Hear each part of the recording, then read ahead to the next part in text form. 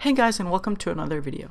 In this video, I'm going to go over how to connect a DHT22 temperature and humidity sensor to your Sonoff and as well as connect it to HomeKit using a Raspberry Pi. Let's get started. So the first thing you want to do is wire the DHT22 sensor to the Sonoff. So make sure that um, the Sonoff is not connected to any power and it's isolated so you don't shock or even harm yourself. Okay, so let's wire the pins. Connect data to GPIO 14, the farthest pin from the button, VCC to the 3.3 volt uh, pin, and ground to the ground pin. The ground and data pins are right next to each other, and the VCC pin is the upmost pin right next to the button. So first, make sure you have the Tasmota firmware installed on your Sonoff. Go to Configuration, go to Configure Module, then you want to scroll down and where you see it says GPIO 14 sensor. You want to click on that. It'll say none. Go down to DHT22 make sure you click on that. Then you want to click save and it's going to say the device will restart in a few seconds. So in a few seconds the device will actually restart. If you have any lights or anything connected to that it'll temporarily turn off for about just half a second and then turn right back on so mine just did that, so I'm going to go back to main menu. And if you wired it properly, you should be seeing the DHT22 temperature and DHT22 humidity showing up right there. So um, I can toggle the light on and off, and you can see the sensor should be updating every second. So yeah, now let's go back to our Raspberry Pi and finish the software configuration for HomeKit. Okay, so on our Raspberry Pi, this tutorial assumes you've already installed all the software from the previous Sonoff tutorial I did to control the outlet through Siri. So the first thing you want to do is go to the hap-nodejs folder and then run this command as shown. Make sure the case is correct and all the spacing is correct as well or else it will not run properly. click enter. Yeah, so double check you have everything correctly.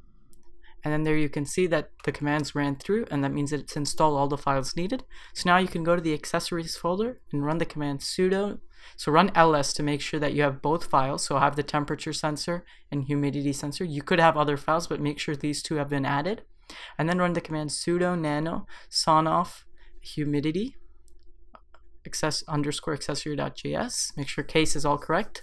And then you'll enter the file Go to the second section of uh, variables as you can see here.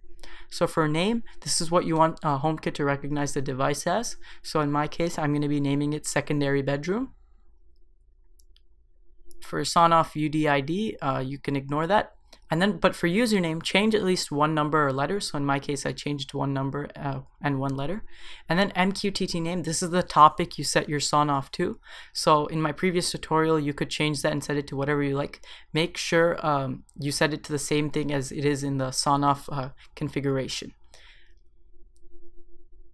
And then make sure you have all your parameters correctly set once again. Do Control X, Y, and then enter to save the file and exit and then do sudo nano sonoff temperature underscore accessory.js and we're going to run the same drill again. So change the name to whatever you want the um, temperature sensor to be recognized as in HomeKit. So in my case I'm naming it once again secondary bedroom. Ignore UDID then you can change the username. So I'm changing one letter and one number once again and a third letter. Okay.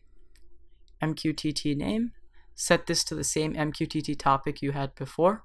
If you did my previous video, this should be very simple.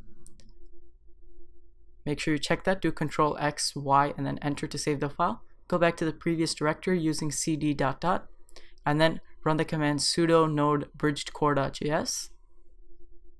Click enter. And uh, if you see that there are no errors after hap-nodejs is starting, that means you've successfully installed everything properly. And on HomeKit, you should be seeing both devices.